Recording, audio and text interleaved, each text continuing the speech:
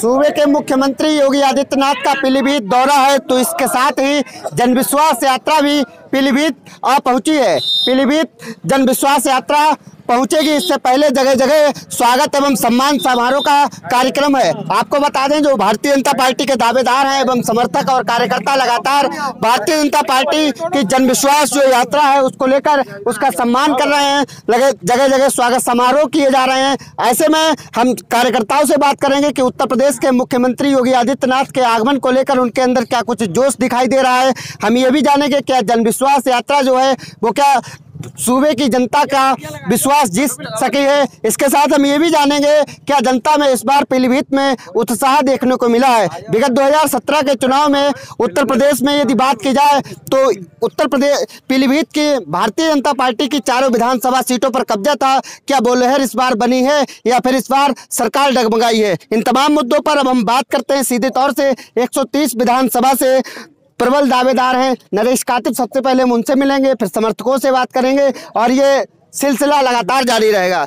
कातिब जी आपका हमारे चैनल में बहुत बहुत स्वागत है। आज सभी लोग यहाँ पे जन विश्वास यात्रा के स्वागत के लिए यहाँ इकट्ठे हुए हैं और योगी जी और मोदी जी के नेतृत्व में जो सुशासन आया है उसके साथ ऐसा पब्लिक और पिछली बार जो सत्रह में चार सीटें जीती थी पीलीभीत की पार्लियामेंट की पाँचों सीटें जीती थी इस बार भी पाँचों सीटें प्रचंड बहुमत से यहाँ से जीत के जाएँगी ऐसा मेरा विश्वास है। योगी जी के साथ है पूरी जनता। उनके उन्होंने इतनी विकास कार्य कराए हैं जो कार्य किए हैं वो सब जो है धरातल पे हैं। भारतीय जनता पार्टी! भारतीय जनता पार्टी! आप लोगों की यदि बात की जाए आपकी बात की जाए तो आप इस बार प्रबल दावेदार भी हैं और संभावित प्रत्याशी भी कहे जा सकते हैं। ऐसे में आपके क्या कुछ मुद्दे होंगे जो जनता के बीच जिन मुद्दों को लेकर आप जाएँगे? नहीं जनता के बीच हम मुद्दे लेके जाएँगे जो विकास कार्य अधूरे रह गए उनको हम पूरा करेंगे। और बाकी सबसे बड़ी समस्या यहाँ पे हालाँकि वो जनता द्वारा बताई जा रही है पब्लिक हम जिस क्षेत्र में घूम रहे हैं कि जानवर जो है छुट्टा है उनका आवारा पशुओं का जो है समस्या है काश्तकारों को गाँव में उसका सबसे पहले हम समाधान उसका कराएँगे लखनऊ विधानसभा के स्तर से। और उसकी जिसलिए इस जिससे परेशान है तो क्या पीलीभीत की जो जनविश्वास यात्रा है क्या जनता का विश्वास जीत सकी है? पूरा जनता पूरी साथ है और यहाँ पिछले बार से इसके इस बार ज़्यादा एक लाख से ऊपर जिसे भी कमल का फूल मिलेगा जिसे पार्टी प्रत्याशी घोषित करेगी उसको जिता के यहाँ से पब्लिक जो है विधानसभा भेजेगी ऐसा मेरा विश्वास साहब एक सवाल और था। बीसलपुर विधानसभा की बात की जाए तो ब्राह्मणों को अभी तक दावेदारी नहीं हो पाई और ब्राह्मण अभी तक कोई विधायक नहीं चुने गए। ऐसे में क्या कहेंगे आप? मैं ये कह रहा हूँ कि हमारे ब्राह्मण भाइयों ने भी आवेदन किया है 130 विधानसभा से। मैं भी प्रत्याशी हूँ। जिस किसी को बहुत अच्छी बात है हमारे समाज से और लोग भी निकल के आए हैं।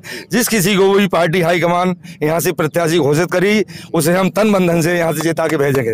ऐसा मेरा तो आपने देखा हमने तमाम मुद्दों पर बात की अब सीधे तौर पर हम जनता से जुड़ेंगे। भारतीय जनता पार्टी को लेकर क्या उत्साह देखने को मिल रहा है इस पर भी हम बात करेंगे। क्या नाम है आपका? क्या नाम है नाम प्रदीप। कहाँ रहते हैं आप?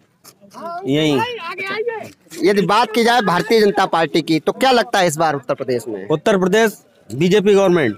जी। किससे खुश हो? मोदी जी से कितना खुश हो? योगी जी से कितना खुश हो? क्या दोनों लोगों क्या लगता है आपको? इस बार भाजपा की सरकार बनेगी यूपी में 300 प्लस सीटें। यदि बात की जाए उत्तर प्रदेश के मुख्यमंत्री की तो आप उनसे कैसे किस तरह तो योगी आदित्यनाथ ने बहुत अच्छा काम किया है। जो गुंडे और इनकाउंटर हुआ है सबसे ज़्यादा इनकाउंटर उत्तर प्रदेश सरकार में इस बार हुआ है। और अतीक अहमद या और भी जो अंसारी इनके जो जगह थी उन पे कब्जा हटवाया है और उनके गरीबों के लिए फ्लैट बन रहे हैं जो बहुत सस्ते दामों में तीन लाख रुपए में। मुख्यमंत्री जी उत्तर प्रदेश के जनपद पीलीभीत में आ रहे हैं। क्या कुछ मांगे रह जाती हैं ऐसी? आप युवा हैं।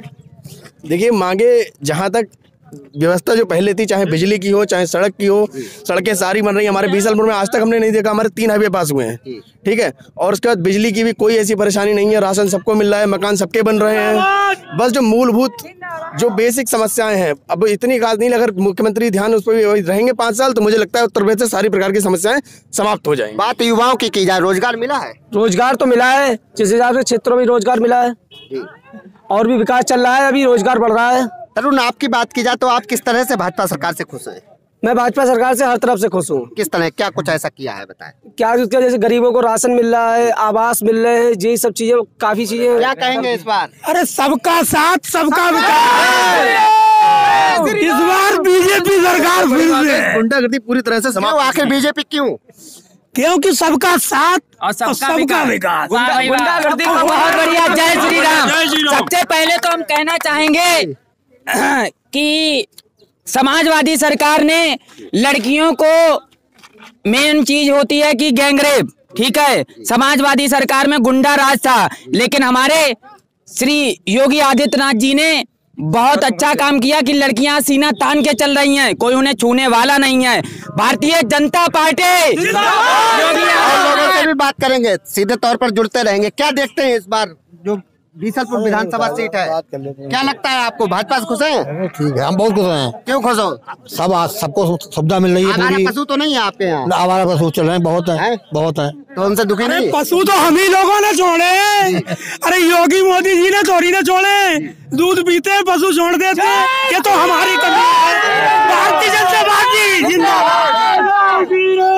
आपने देखा इन तमाम मुद्दों पर हमने सीधे तौर पर जनता से भी बात की, नेताओं से भी बात की और कहीं ना कहीं तक देखा जा रहा है कि सीधे तौर पर जनता में भारतीय जनता पार्टी के लिए समर्थन दिखाई दे रहा है। यदि उत्तर प्रदेश में मुख्यमंत्री योगी आदित्यनाथ आ रहे हैं पीलीभीत में तो पीलीभीत की जनता में जोश देखा जा रहा है। पीलीभीत के चुनाव के लिए इस बार यूपी के मुख्यमंत्री संजीवनी का काम करेंगे। उत्तर प्रदेश के मुख्यमंत्री का मुख्यमंत्री बनने के बाद पीलीभीत का ये दूसरा दौरा है। शायद इस दौरे के बाद पीलीभीत में एक बार फिर राम की लहर दिखाई देगी।